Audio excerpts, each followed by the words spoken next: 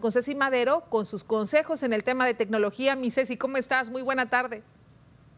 Hola Gaby, ¿cómo estás? Muy buenas tardes. Pues aquí seguimos con el Cibertip desde casa y el día de hoy les traigo un tema también relacionado a la seguridad, en este caso la seguridad cibernética, hablando particularmente de la aplicación TikTok que bueno, pues como muchos de ustedes quizá ya la conocen porque es una aplicación que está de moda entre los adolescentes y los niños. Sin embargo, pues TikTok tiene también algunas cuestiones relacionadas con la seguridad que han sido definitivamente polémicas, entre ellas la, eh, la cuestión relacionada a los datos personales.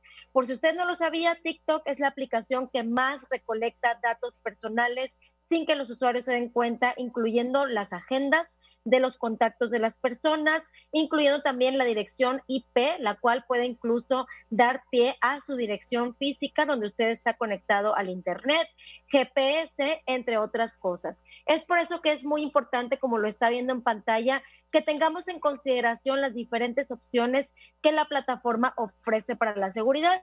Considere que cada vez que abrimos una cuenta en esta plataforma TikTok, todas las eh, cuentas son automáticamente públicas. Esto quiere decir que cualquier persona va a tener acceso a ver los videos y la información. Particularmente se vuelve delicado cuando estamos involucrando a menores. Hay que recordar que esta aplicación particularmente comenzó como una aplicación para menores y definitivamente está lleno de ellos. Entonces, lo que está viendo aquí en pantalla son las diferentes opciones. La primera es hacerla privada. A pesar de que automáticamente es una aplicación que se hace pública, tenemos la opción dentro de la configuración de hacerla de manera privada. Otra cosa que tiene la aplicación en la parte de seguridad es lo que le llama la desintoxicación digital. Esta desintoxicación digital consiste en un modo restringido en el cual los padres de familia pueden configurar un tiempo definido para la pantalla para el uso de la aplicación, que va desde una hora, dos horas o hasta cuatro horas. De esta manera, cuando pase ese tiempo, la aplicación sola se cerrará y el menor ya no tendrá acceso a ello.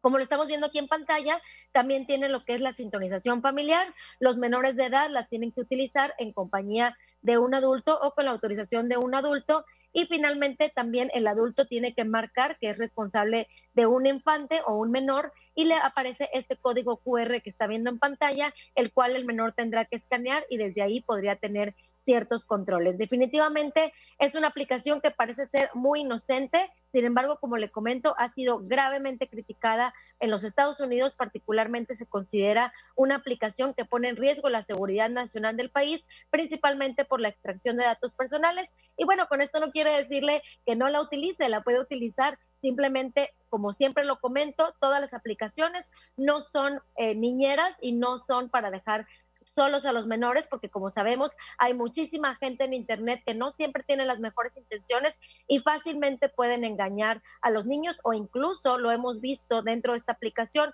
los hacen que bailen con ellos, los hacen que canten con ellos, canciones sugestivas y si no está privado, pues cualquier persona los puede ver y los puede descargar. Definitivamente una aplicación con muchos riesgos que debemos de considerar para tener mucho cuidado en el uso correcto de ella.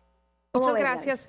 Gracias, Ceci. Digo, sabemos que no es la única aplicación que es invasiva, de hecho la mayoría lo son en el acceso a la privacidad, eh, pero pues importante saber cómo configurarla.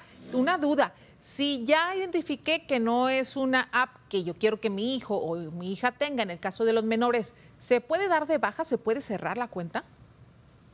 Fíjate que sí se puede cerrar la cuenta, Gaby, pero la aplicación tiene diferentes elementos para cerrarla, no es como todas, sino que te tiene que mandar un código de seguridad y lo hace particularmente complicado. Es importante considerar eso, pero sí, sí se puede cerrar. Lo único es que los datos personales que ya extrajo, que esta aplicación sí, como bien dices, todas lo hacen, pero esta es la que más lo hace y eso llama muchísimo la atención, porque digamos que de el universo general esta extrae el 100%, mientras que las otras solamente extraen un 30 o un 40%. Entonces es diferente, la verdad, y, por mucho. Entonces hay que considerar eso también. Ahora, si se cierra la cuenta, eh, la información que está ya cargada desaparece, se queda en la red. ¿Qué sucede con ella?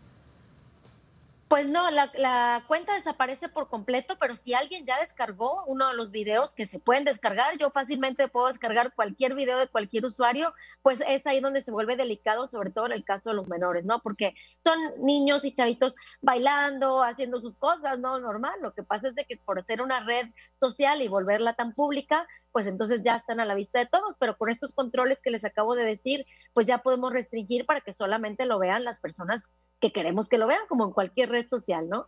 Muchísimas gracias, Ceci, por el cibertip de hoy. Muy práctico, muy útil ahora que los niños están en casa y que pasan mucho tiempo en las tabletas y en los celulares, pues para estar pendientes como papás. Tus redes, por favor, para seguirte.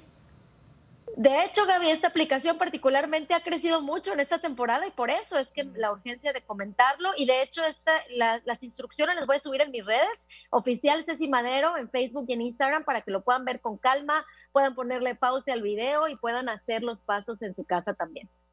Gracias y hasta la próxima semana. Hasta la próxima semana.